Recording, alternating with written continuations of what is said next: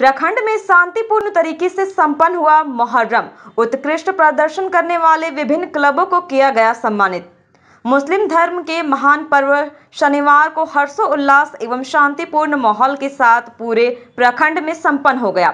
इस दौरान प्रखंड के प्रतापपुर, बभने गुरिया गजवा, घोरीघाट, भरही, बरूरा बरवा टोला रामपुर, जोगियारा, कुकुरमन, नीमा कारूडी, हुमाजांग समेत अन्य गाँव में मुहर्रम का जुलूस शांतिपूर्ण तरीके से निकाला गया। मौके पर लोगों ने जुलूस में या अली या हुसैन के नारे लगाए एवं लाठी, तलवार, भांज कर अपने कला का प्रदर्शन किया। वहीं मुख्यालय स्थित हाई स्कूल परिसर में तजिया का मिलान किया गया, जहाँ पुलिस एवं प्रखंड प्रशासन के द्वारा बेहतर तजिया बनाने एवं बेहतर कला प्रदर्शन दिखाने वाले क्लबों को प्रखंड प्रशासन द्वारा मेडल एवं ट्रॉफी देकर सम्मानित किया गया।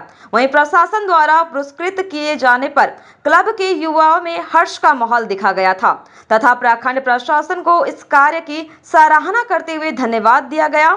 वहीं सभी मुस्लिम धर्म के लोग करबला पर फातिया कर इमाम हुसैन की शहादत को याद किया।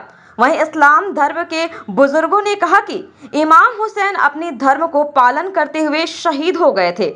उन्हीं के शहादत मुहर्रम के रूप में मनाया जाता है। प्रखंड प्रशासन द्वारा जुलूस में सुरक्षा किया गया था। पुख्ता इंतज़ाम था।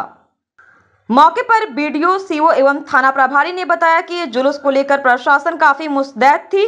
प्रशासन ने बताया कि सभी जगहों को जुलूस में पर्याप्त पुलिस बल की तैनाती किया गया था। सभी जगहों पर जुलूस शांति तरीके से संपन्न हो इंस्पेक्टर सर थाना प्रभारी महोदय